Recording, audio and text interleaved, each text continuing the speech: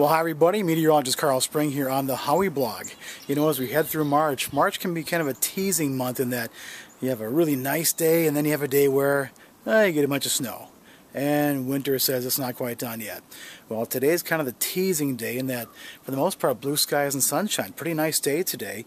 Uh, light southwest winds and a high of 33, which is right about normal. So today's the day you think, yeah, we're turning a corner on winter now comes the other part. Uh, tonight, mostly cloudy skies, 22 for a low, uh, and snow coming in late tonight, overnight tonight. So tomorrow morning, heading to work, some snow will be beginning. Now, Friday, looking at 1 to 3 inches of snow. So for the most part, around 2, but, you know, again, that 1 to 3 mark there. East winds at 10, high of 27. So not a big snow, more of a nuisance snow.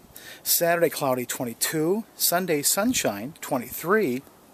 Then on Monday, wham, here comes the next big system in from the, the west. Monday with a high of 24 looks like a pretty decent snowfall. Right now, a little uncertain, but the 5 to 6 to 7 inch variety. Kind of what we just shoveled here about a week ago. So again, uh, a nuisance, little snow Friday, and maybe a pretty fairly good size snow Sunday night into Monday. More on that later, but Monday could be kind of a hassle getting anywhere. Uh, that's look at your forecast here on the Howie blog.